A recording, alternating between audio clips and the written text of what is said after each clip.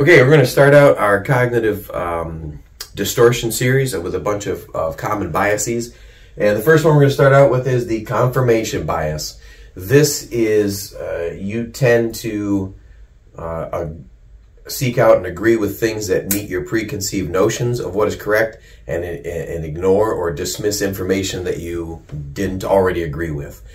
Um, see this every day in uh, which news channels you, you choose to watch. If you're a uh, Fox News is the, the be all end all and you refuse to watch the others, um, you know, you're going to be you might be victim to the confirmation bias. If you choose to CNN is the only true and everybody that watches Fox is uh, incorrect, that's a confirmation bias. Uh, civilization runs on the confirmation bias. They they feed you what you want to hear. You get stuck in echo chambers.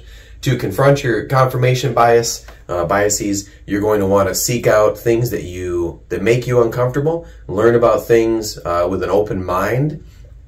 Uh, don't know if that was Aristotle that said uh, the mark of an educated mind is the ability to entertain an idea without accepting it. So uh, start looking for your your own confirmation biases in, in anything you do and information you take in. So check that one out first.